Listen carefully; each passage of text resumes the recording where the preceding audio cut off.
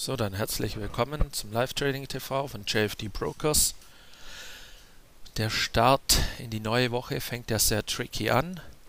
Wer die Videos vom Wochenende gesehen hat, oder beziehungsweise hier den Text gelesen hat, dass die Lage ein bisschen unklar ist, aber es trotzdem gute Marken gibt, hat sich eben äh, dann teilweise bewahrheitet.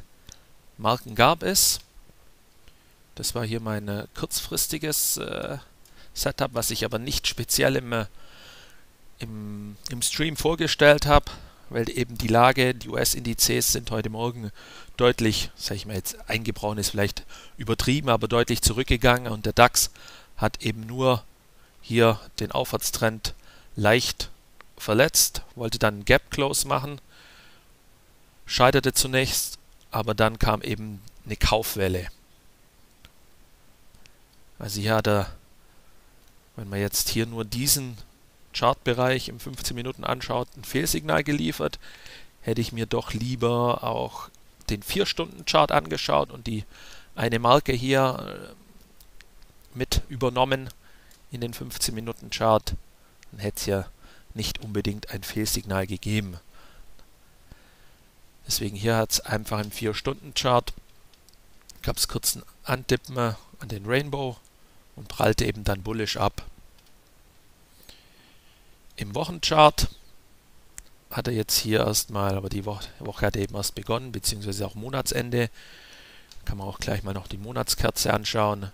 Ist jetzt über den Wolken, Oberkante ausgebrochen und hat auch das letzte Wochenhoch knapp überwunden und kämpft jetzt mit dem Wochenhoch. Den Monatschart ja,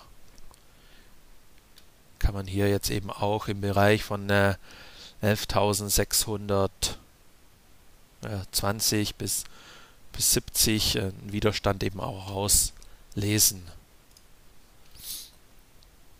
Also hier ist eben auch, wie auch in der letzten Wochenanalyse, hat der DAX eben Kurspotenzial freigeschaffen und hat es eben hier ein bisschen im 15-Minuten-Chart ja, die Leute ein bisschen, sage ich mal, die Shorties vielleicht reingezogen und ist dann nach oben durchgezogen.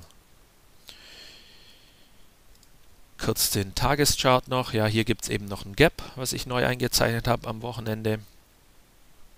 Das ist dann im Prinzip eine mögliche Anlaufzone, aber ohne dass ich jetzt hier ein aktives Setup vorstellen werde. Im US-Handel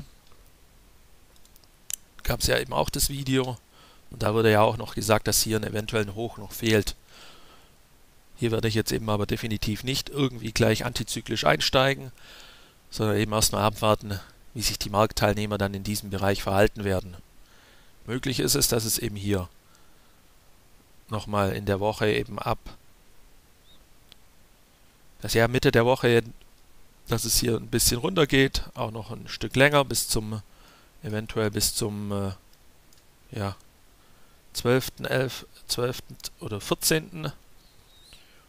Und eben dann wirklich nochmal eine Weihnachtsrallye dann startet. Im S&P 500 Index ist eben der Bereich um die 2100 Marke eben stark umkämpft. Und hier warte ich eben auch ab, wie sich der Index hier verhält. Im Prinzip könnte es jetzt hier schon auch ein neues Hoch geben. Hier muss man wirklich schauen, was er dann auf Tagesbasis macht, aber dann trotzdem eine Konsolidierung einleitet. Also ist es nicht wirklich gleichzusetzen. Hier der Ausbruch über 2100, dass es dann direkt hier hochgeht. Ich habe zwar hier den Pfeil mal so eingezeichnet, aber hier muss man wirklich definitiv jeden Tag das genau dann begutachten. Weil womöglich könnte es sich eben hier auch eine schöne Bullenfalle dann ergeben. Kurzen Ausbruch über diese Marke und dann noch ein schöner Abverkauf. Eben bis ja, 11.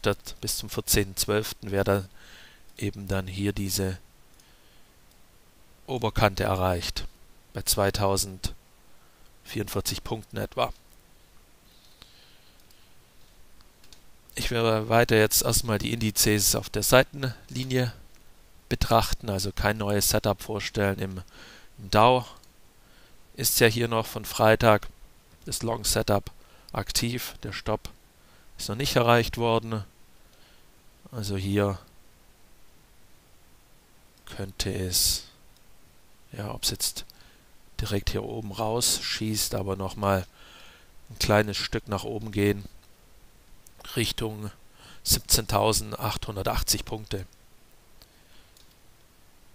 Aber hier muss man eben auch noch die Muster abwarten. So, das wäre es erstmal. Danke fürs Zuhören und ich melde mich dann, ja, vielleicht nochmal kurz vor US-Eröffnung. Danke und Ade.